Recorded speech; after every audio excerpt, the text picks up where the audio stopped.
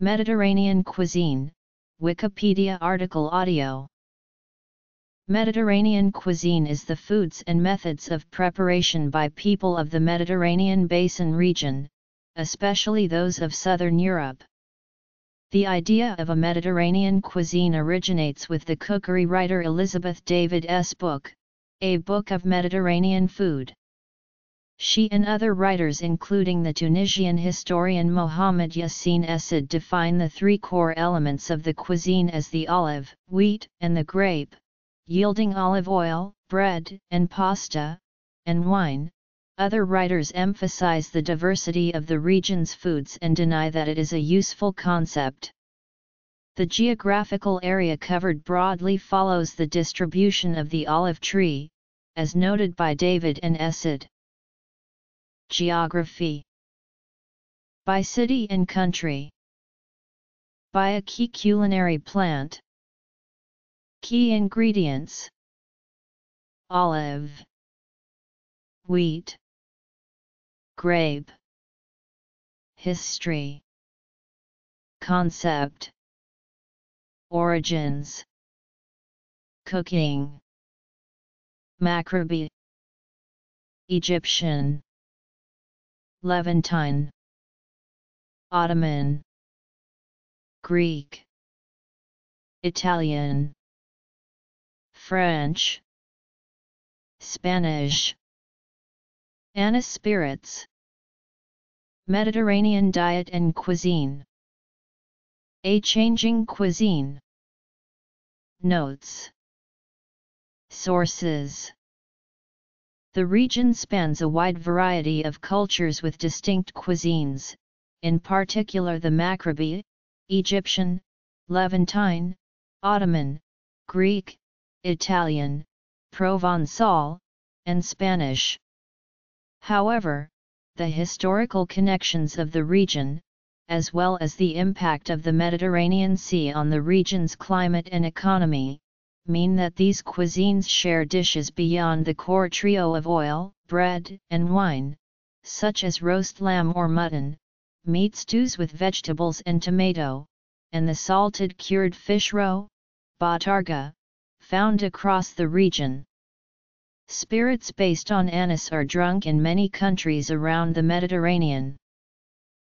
The cooking of the area is not to be confused with the Mediterranean diet, made popular because of the apparent health benefits of a diet rich in olive oil, wheat and other grains, fruits, vegetables, and a certain amount of seafood, but low in meat and dairy products. Mediterranean cuisine encompasses the ways that these and other ingredients, including meat, are dealt with in the kitchen, whether they are health-giving or not. The cookery writer Elizabeth David's introduction to A Book of Mediterranean Food defines her scope as the cooking of the Mediterranean shores. She sketches out the geographical limits as from Gibraltar to the Bosphorus, down the Rhone Valley, through the great seaports of Marseilles, Barcelona, and Genoa, across to Tunis and Alexandria, embracing all the Mediterranean islands, Corsica, Sicily, Sardinia, Crete, the Cyclades, Cyprus, to the mainland of Greece and the much disputed territories of Syria, the Lebanon, Constantinople, and Smyrna. David defines the region as coextensive with the range of the olive tree, those blessed lands of sun and sea and olive trees. The olive's natural distribution is limited by frost and by availability of water. It is therefore constrained to a more or less narrow zone around the Mediterranean Sea, except in the Maghreb and in Spain, where it is distributed more widely, and on the islands of the Mediterranean, where it is widespread. The Tunisian historian Mohamed Yassine Essid similarly defines the region by the olive's presence, along with bread, wheat, and the grape as the basic products of Mediterranean folk cuisine.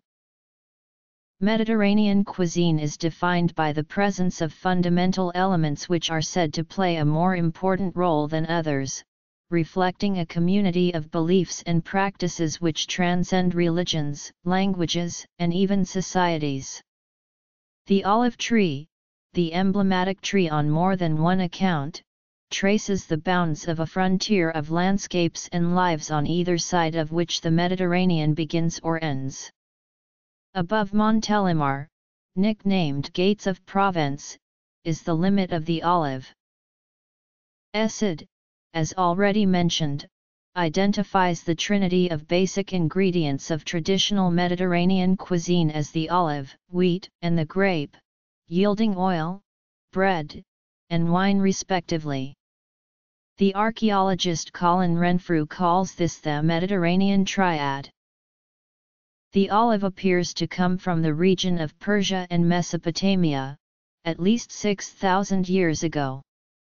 It spread from there to nearby areas, and has been cultivated since the early Bronze Age in southern Turkey, the Levant, and Crete. The ten countries with the largest harvests are all near the Mediterranean, together, they produce 95% of the world's olives. The olive yields bitter fruits, made edible by curing and fermentation, and olive oil. Some 90% of the fruit production goes into olive oil. The Mediterranean region accounts for the world's highest consumption of olive oil. In 2014, the highest consuming country, Greece, used 17 kilograms per head, Italy, 12 kilograms, Spain 3 kg, the United States for comparison used only 1 kilogram per head. Wheat was domesticated in the Fertile Crescent, in and near the Levant some 10,000 years ago. Its ancestors include wild emmer wheat, this was hybridized, harvested, and sown to create domestic strains with larger grains, in ears that shatter less readily than wild forms. It had been spread across the Mediterranean region as far as Spain by 5000 BC. Wheat is a staple food in the Mediterranean region. Wheat bread was already critically important in the empire of ancient Rome, which included the entire region, at that time, around 2000 years ago, North Africa was the breadbasket of the empire. Other staple wheat-based Mediterranean foods include pasta and semolina products such as couscous and burghul. In turn, these are made into dishes such as the Greek dessert galaktoboureko, consisting of phyllo pastry parcels around a custard made with semolina. A widespread wheat dish from Turkey and the Levant to Iran and India is halva, a dessert of sweetened semolina with butter, milk, and pine kernels. The grape was domesticated between 7000 and 4000 BC between the Black Sea and Persia. Archaeological evidence shows that wine was being made there by 6000 BC, reaching Greece and Crete in the 5th millennium BC and Spain by the last millennium BC. Winemaking started in Italy in the 9th century BC, and in France around 600 BC. Grapes are mostly grown for making wine and vinegar as basic components of the Mediterranean diet, as well for drying as raisins or for eating as table grapes. Raisins and table grape varieties are chosen for their flavor. Grape production remains important in the Mediterranean area, with southern Europe accounting for 21% of the world's harvest. In 2014, Italy produced 6.9 million tons of grapes, Spain 6.2 mt, France 6.2 mt, Turkey 4.2 mt, and Germany 1.2 mt. Wine production for Southern Europe was 37% of the world total in 2014, with Italy producing 4.8 mt, Spain 4.6 mt, France 4.3 mt, and Germany 0.9 mt. The concept of a Mediterranean cuisine is very recent, probably dating from the publication of David's A Book of Mediterranean Food. David herself did not use the term, speaking instead of Mediterranean food, cookery, or cooking. The usefulness of the concept is disputed. Carol Helstosky, author of the book Food Culture in the Mediterranean, is among the authors who use Mediterranean cuisine interchangeably with Mediterranean food. In the preface to her book she writes, Mediterranean food is incredibly popular, pasta, pizza, sausage, wine, gyros, kebab, and falafel can be found just about everywhere. Food experts and cookbook authors adore Mediterranean cuisine. It acknowledges that geographical differences and the vicissitudes of history have affected the food of different Mediterranean lands, but nonetheless asserts that rules for the preparation and consumption of food are common to the lands that border the Mediterranean. They offer both stability, continuity, and reproduction of a specific pattern of eating which resists conquest, invasion, colonization, social change, industrialization and urbanization. Consequently, wherever you go, in southern Europe or the lands bordering the southern Mediterranean, you will find a cuisine and gastronomic ritual which is always familiar.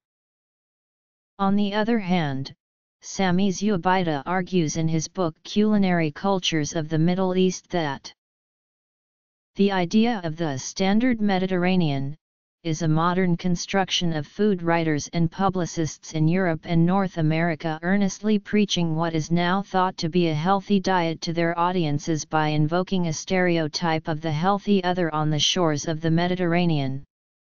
Their colleagues in Mediterranean countries are only too willing to perpetuate this myth. The fact of the matter is that the Mediterranean contains varied cultures. The cookery author Clifford A. Wright wrote in 1999, There really is no such thing as Mediterranean cuisine. At the same time, we seem to know what we mean when we use the expression. Wright argued that David's book itself was largely about specifically French Mediterranean food, pointing out that only 4% of her recipes come from North Africa or the Levant. Since David's time, a variety of books on Mediterranean cuisine have been written, including Abu Shihab's 2012 and J.R. Stevens' 2015 books of that name, Helstosky's 2009 book, already mentioned, books by other cookery writers include S. Rowe's Purple Citrus and Sweet Perfume, Cuisine of the Eastern Mediterranean, and Marie-Pierre Moine's Mediterranean Cookbook. There are many more cookbooks covering specific cuisines in the Mediterranean area, such as B. Santich's The Original Mediterranean Cuisine, Medieval Recipes for Today, on Catalan and Italian recipes, and H. F. Ullman's on the cooking of Tunisia, Spain, and Italy, each one subtitled Mediterranean Cuisine. The ingredients of Mediterranean cuisine are to an extent different from those of the cuisine of Northern Europe, with olive oil instead of butter, wine instead of beer. The list of available ingredients has changed over the centuries. One major change was the introduction of many foods by the Arabs to Portugal, Spain, and Sicily in the Middle Ages. Those foods included aubergines, spinach, sugar cane, rice, apricots, and citrus fruits, creating the distinctive culinary tradition of Al-Andalus. Another major change was the arrival of foods from the Americas in early modern times, notably the incorporation of the potato into Northern European cuisine, and the eager adoption of the tomato into Mediterranean cuisine. The tomato, so central now to that cuisine, was first described in print by Pietro Andrea Mattioli in 1544. Similarly, many of the species of Phaseolus beans now used around the Mediterranean, including P. vulgaris, were brought back from the Americas by Spanish and Portuguese explorers. David's introduction to her 1950 book characterizes the cooking of the Mediterranean countries as conditioned naturally by variations in climate and soil and the relative industry or indolence of the inhabitants.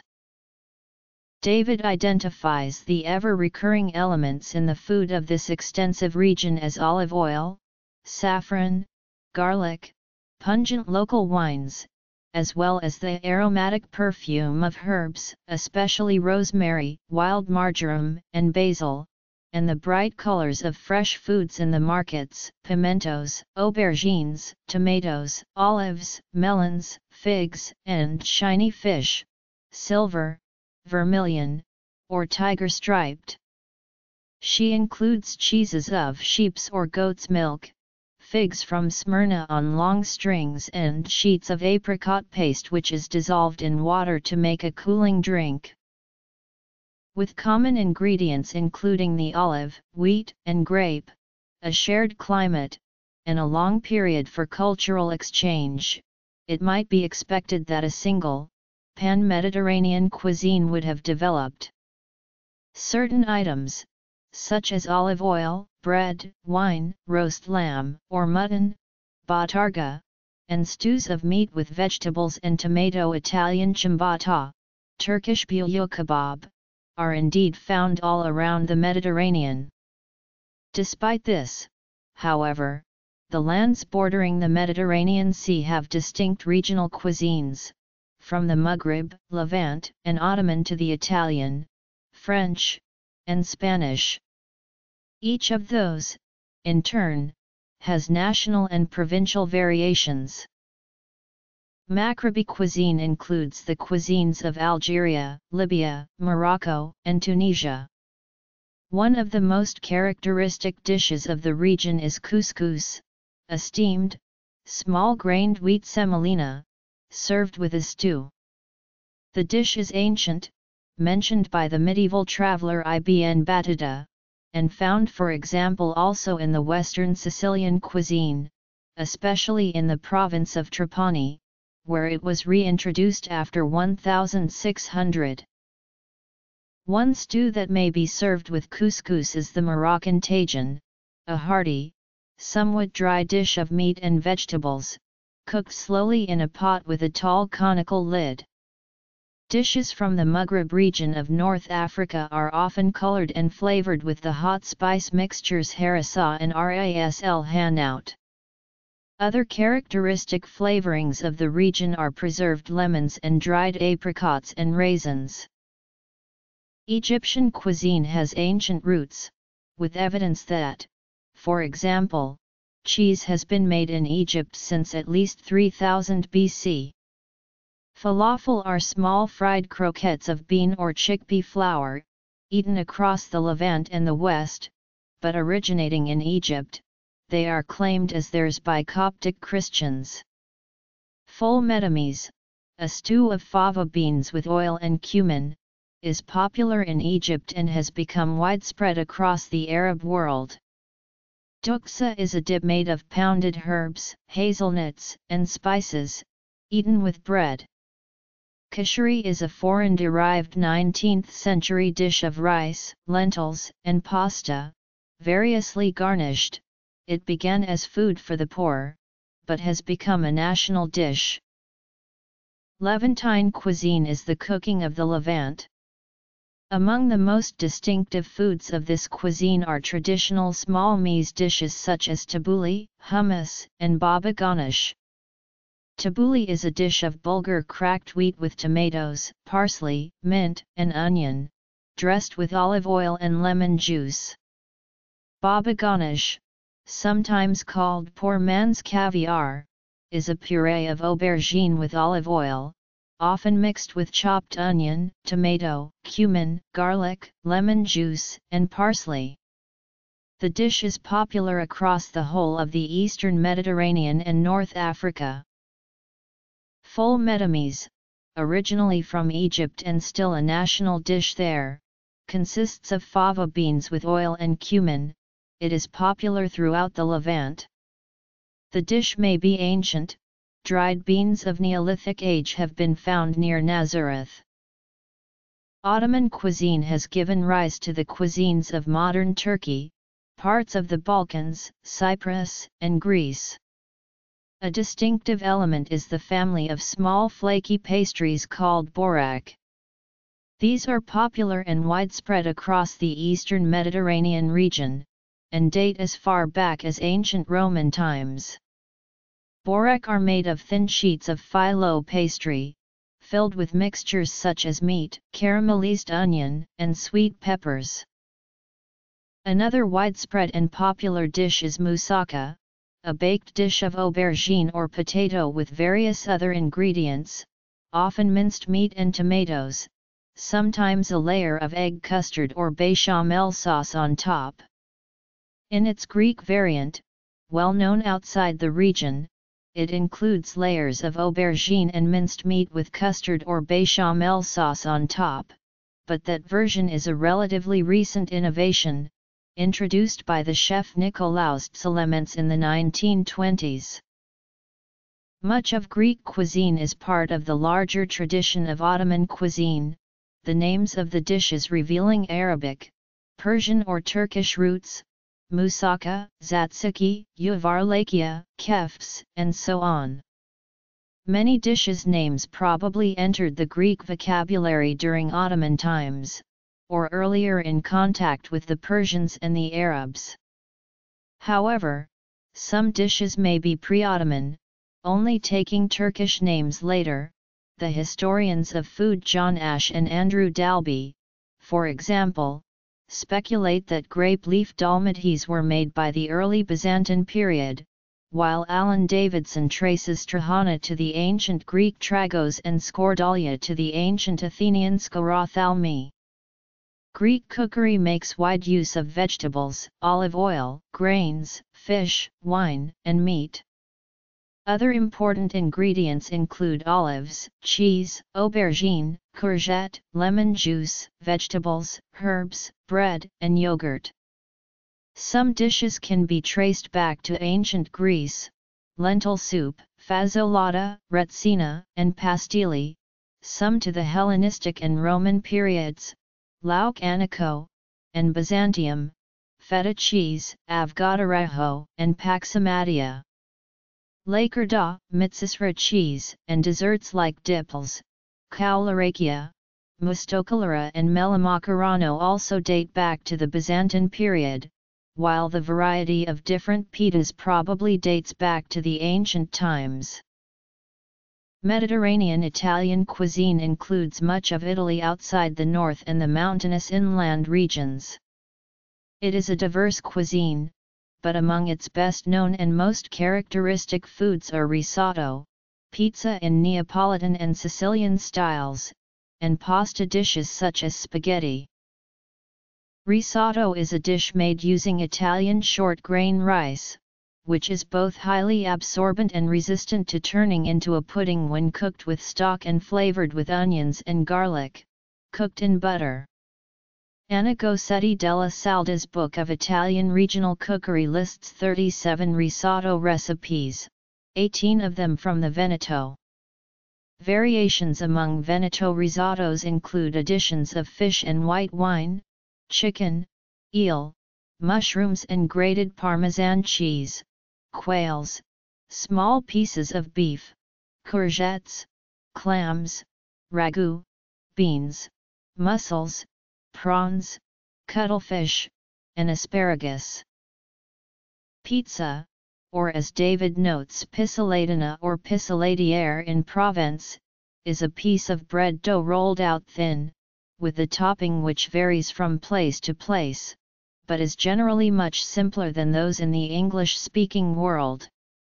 In Naples this is tomato, anchovies, and buffalo mozzarella. In San Remo it is onions cooked in olive oil, with salted sardines. The Provençal variety uses onions, black olives, and anchovies. Spaghetti dishes also vary. It may be eaten as David says simply with olive oil and garlic, without cheese, or with a sauce of very red and ripe peeled tomatoes, cooked briefly and flavored with garlic and either basil or parsley. One Sicilian variant includes pieces of bacon, onions fried in fat, garlic, stoned olives, and anchovies, served with olive oil and grated Parmesan cheese. Mediterranean French cuisine includes the cooking styles of Provence, Occitania, and the island of Corsica. Distinctive dishes that make use of local ingredients include bouillabaisse and salade niçoise. Bouillabaisse is a substantial dish from the French port of Marseille, capital of Provence. It is a stew for at least eight people, because it should contain many kinds of fish such as crayfish, gurnard, weaver, John Dory, monkfish, conger eel, whiting, sea bass, and crab. These are cooked with Mediterranean vegetables and herbs, namely onions, garlic, tomatoes, thyme, fennel, parsley, bay, and orange peel. Salade niçoise is a colorful salad of tomatoes, tuna, hard-boiled eggs, niçoise olives, and anchovies, dressed with a vinaigrette.